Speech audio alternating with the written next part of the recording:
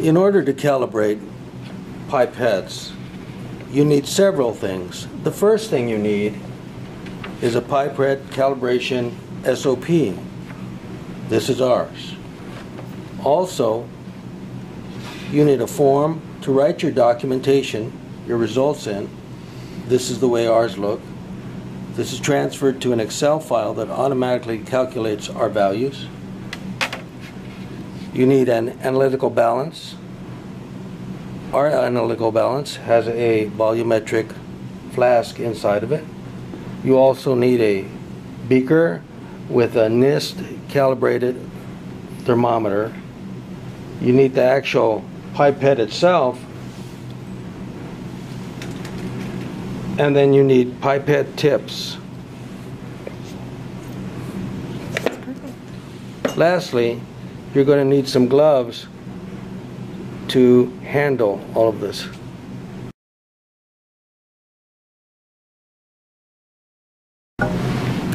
This is the pipette we're going to be calibrating today.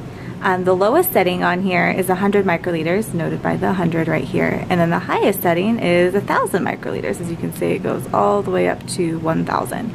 So those are two of the settings we'll be doing uh, measurements on. We'll also be doing 500 microliters, which is right in the middle of this, just so we can get a good, accurate reading on how well this pipette is calibrated. Um, and there's also a serial number on here. It's going to be right here. You can see it says 256655. That's the serial number you'll be recording um, just so we can track which pipettes we're doing calibrations on. Now we're going to discuss how you adjust the volume you'll be dispensing with the pipetter. With the Eppendorfs, there's a button on the side that you need to press. Then you can rotate the knob to the appropriate volume. In this case, we're going to go from 963 to 1000 microliters. Now we're at a 1000 microliters. This will be the volume that is dispensed. After you dial in your number, you release the knob and it locks it in. In order to put a pipette tip on, we have our pipetter that we're going to be calibrating. And all you do is you just take your pipette, find the tip that you want, and just push it in pretty hard. Make sure that it's not going to fall off. Um, and here you go. You have your tip on your pipetter. There are two stops on a pipette, so you can feel it. There's the first stop, and then there's a little bit further, which is the second stop.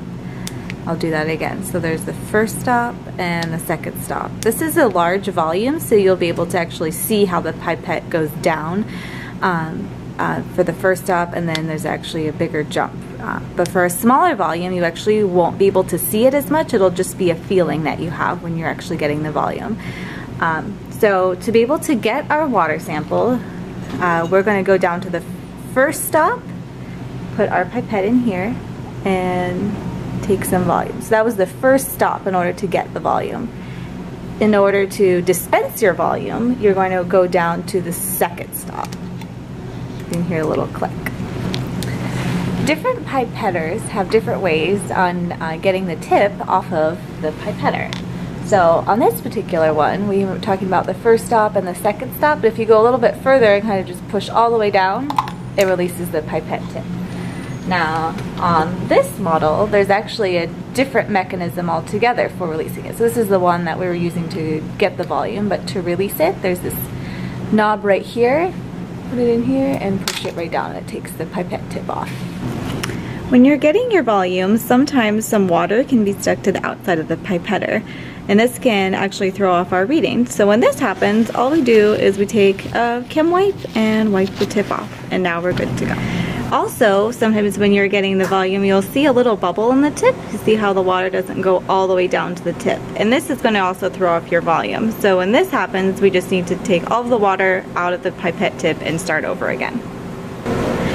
So after we've dispensed the water out of the pipette, sometimes there's a little bit left over. And this is volume that's actually still left in here. So if we try to get another um, like 500 microliters, it's actually going to be a little bit more than 500 microliters as this water is still stuck in here. So when this happens, we'll just take a new tip. Before we start actually taking some measurements, we're going to fill out our form first. Um, Basic things that you'll need is the date, who's doing the calibration, uh, what location the pipetter came from, the model number, which is located on the pipetter. For example, we're doing the Eppendorf reference. The serial number, which is on the top right near the knob, where you change the volume you're showing. The volume range of the pipette, which is also on the knob. This one is 100 to 1000 microliters. Um, I also put a conversion up here so we know one mil is 1000 microliters. Um, for this particular form, the test volume needs to be a milliliter, so I already went ahead and converted it. So the 100 microliters is going to be 0.1 milliliters and so forth. Um, this one's going to be 0.5 milliliters, this one is 1 uh, milliliter, which is 1,000 microliters.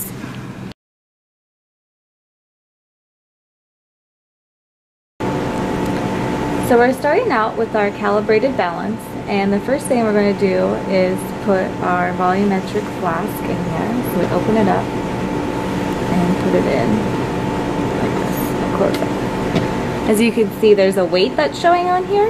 Uh, we actually want to zero this and make it zero so it will start weighing the water inside and not, we don't want the volume of the flask to show. So we'll zero this and it will show as zero weight and that's where we need to start from. So we're going to take our first volume, which is 100 microliters, and we're going to put it in our volumetric flask. So move it here, close it, and we will record this value here, which is 0.1039 grams, and we'll put that right over here in our first column. And we will be repeating this process um, either five times or 10 times depending on your SOP. After we've gotten our first value, we're going to re-zero or re-tare it so we're back to zero grams so we can record our next volume. So let's take another 100 microliters.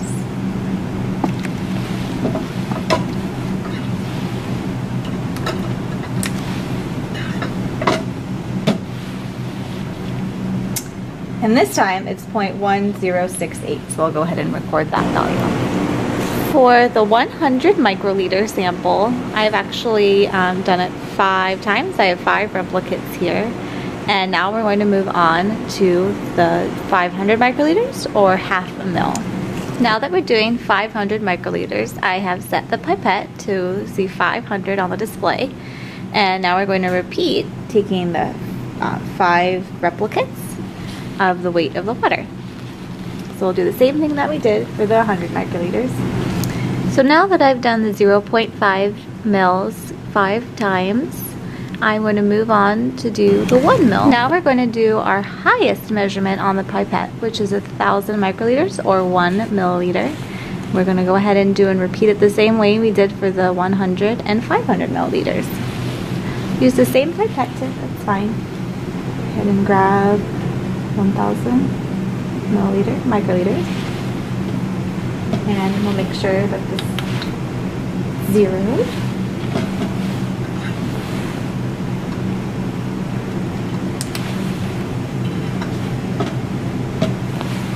and this should be very close to one gram.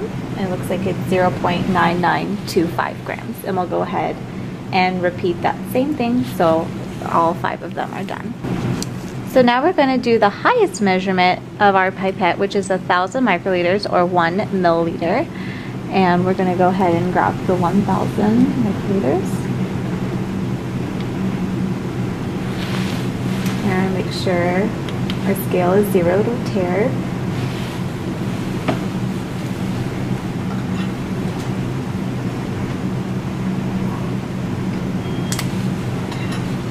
we'll go ahead and record this value which is 0.9945 grams.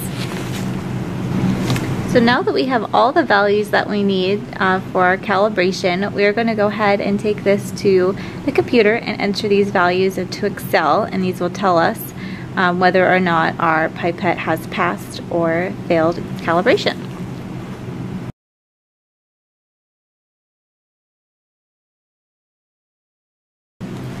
Alright, so before we start calibrating, we want to make sure the pipette is clean, doesn't have any residue.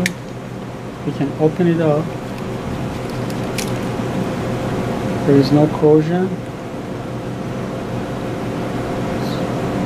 looks clean. It's lubricated.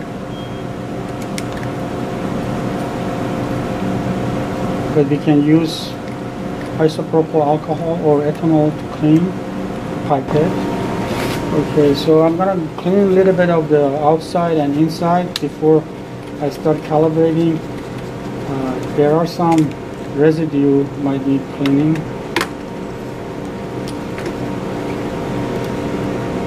This is 70% ethanol.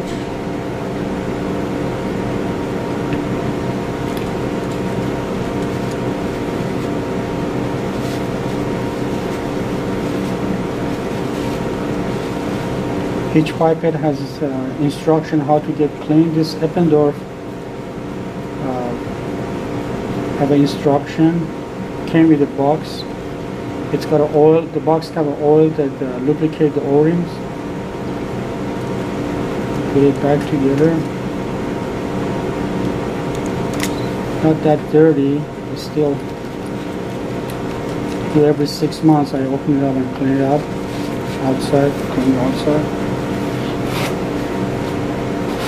Wipe everything out, all the residue, all the germs, all the greases off. So it's ready. It's loose, so it's got enough lubrication on that O-ring. Otherwise, I have to lubricate more. Before calibration, I gotta see if uh, need any adjustment. There is a knob for adjustment. I can, with a knob, I can turn it uh, clockwise or uh, the other way around to see uh, to get it to the calibration that weight I needed. I usually like to 100% accuracy, but uh, our spreadsheet allows 5% deviation. For some method, Clean Water Act uh, use 2%. For macro, it's, it's 2.5 or 3%. It depends uh, your QA program what percentage. Uh, the tighter the accuracy, the 1% is the most accurate one.